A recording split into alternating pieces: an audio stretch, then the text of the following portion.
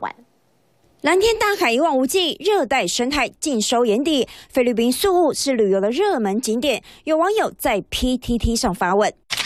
一家三口想要在四月中旬出去玩，查了宿务行程，机票两万四千三百元，饭店三万五，跳岛行再加上包车一万块，吃饭杂用预算大约抓八万块。这样的价格，如果去垦丁玩六天，能住得更好吗？会在垦丁，因为比较自由自在。我会选择出国玩啊，国内现在的旅游消费太高，六天五夜八万块的预算要出国还是国旅，民众各有选择。查了一下订房网，在四月中旬，垦丁的房价从民宿到星级饭店，价格可以差到好几倍。以四月中旬垦丁地区的房价来看呢，星级饭店六天五夜不用超过两万元，那很多优质的民宿呢，六天五夜甚至不用到一万元。那我天天在垦丁看着大海，餐餐吃龙虾生鱼片都不用花到八万元啊。